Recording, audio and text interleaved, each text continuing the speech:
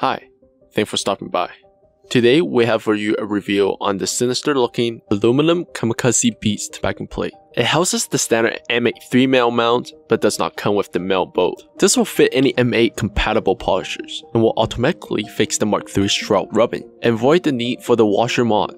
There's nothing like the Beast on the market. It is elegantly CNC'd and crafted. It is said that it takes an entire day to CNC and hand finish the plate. Let's have a few moments to admire this beauty. Alright, the beast weighs in at 142 grams, Rupes stock plates at 124 grams, Tacsystem's aluminum plate at 126 grams, and Shinemate's new HD plate at 146 grams. More on this one in the future videos.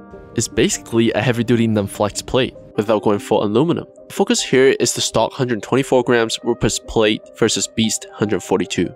We'll be testing its power slash RPM stalling and see what kind of vibration numbers we get with the beast. As there's a 30% weight increase of 18 grams, and we all know even a few grams. A switch between foam and microfiber can distort the balance. The power slash stalling will be once again tested with a 2.5 pound load, and here it is. It's interesting to see there's not much difference for speeds 4 to 6, all within the margins of error. Where the difference comes in are the low speeds 1 to 3. Speed 1 sees a healthy 17% increment from 263 RPM to 317.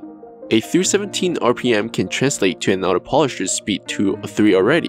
A sub 300 RPM with just a speed 1 is very impressive. Speed 2 went from 369 to 408, and speed 3 from 436 to 482, both around a 10% increase.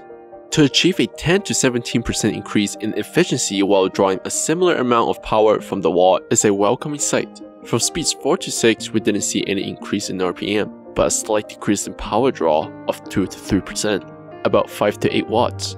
Please note we are only testing with 2.5 pounds, because as low increases past 2.5, the difference may widen. Also note, this is very important, RPM is not the entire story. Imagine polishing with and without a foam interface. A thick pad versus thin, the RPM will be the same, but real power transfer from the machine to the panel is drastically different.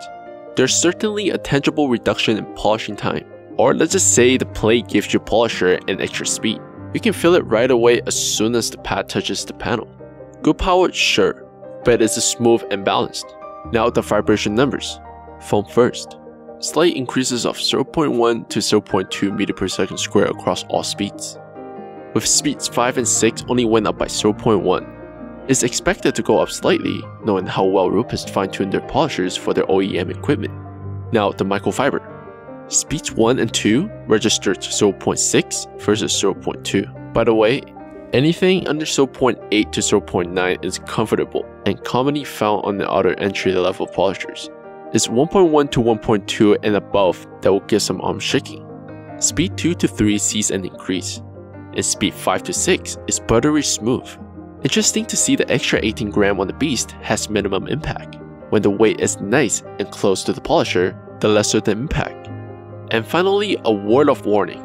This plate packs heat, literally. Make sure you let the plate cool down in between, or the glue that holds the Velcro together will start to separate and come apart.